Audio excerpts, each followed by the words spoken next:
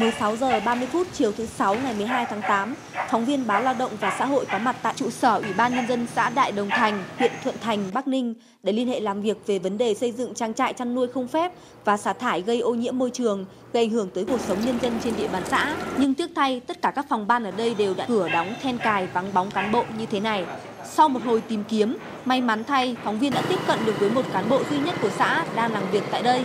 Bất ngờ vị cán bộ này cho biết, bí thư, chủ tịch, phó bí thư của xã đã đi du lịch hết rồi, đi tham quan 5 ngày, thứ ba tuần sau mới về, đi với cả huyện, xã nào cũng thế, văn phòng cũng đi du lịch ở Thái Lan rồi. Hôm nay chủ tịch đi vắng hết rồi, đi tham quan du lịch 5 ngày, tận thứ ba tuần sau mới về. À, Bắt đầu đi từ sáng hôm nay, đi tất cả bí thư, ờ, chủ tịch, phó chủ tịch đi hết, xã nào cũng thế. Văn phòng có cái văn phòng đi du lịch ở Thái Lan không có nhiều. Sáng thứ hai, ngày 15 tháng 8, phóng viên tiếp tục có mặt tại trụ sở Ủy ban Nhân dân xã Đại Đồng Thành, huyện Thuận Thành, Bắc Ninh vẫn là tình trạng cửa đóng then cài vắng bóng cán bộ như thế này.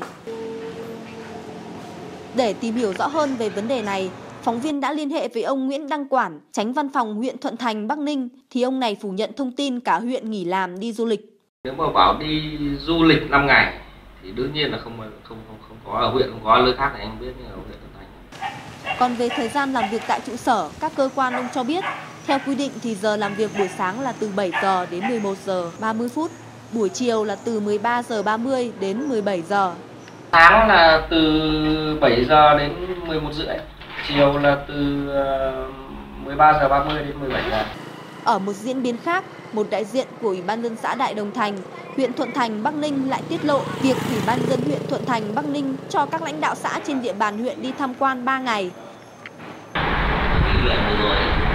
là cho các lãnh đạo xã đi tham quan sáu bảy chủ nhật cứ nuôi dế quan mới về Vậy tại sao lại có các ý kiến trái chiều về việc Ủy ban Nhân dân huyện Thuận Thành, Bắc Ninh cho cán bộ xã trên địa bàn đi tham quan du lịch trong ngày làm việc như vậy? Có hay không việc chống đánh xuôi kèn thổi ngược ở đây? Cũng xin được nói thêm rằng vào hồi 14 giờ 30 phút ngày 2 tháng 8, khi phóng viên có mặt tại trụ sở Ủy ban dân huyện Thuận Thành để liên hệ làm việc về vấn đề trại lợn xây dựng không phép, nước thải tràn ra môi trường thuộc địa phận xã Đình Tổ thì cũng ghi nhận được những hình ảnh không mấy là đẹp của vị tránh văn phòng huyện này khi đang ở bên trong phòng làm việc của một vị phó tránh văn phòng huyện Thuận Thành Bắc Ninh. Báo Lao động và Xã hội sẽ tiếp tục thông tin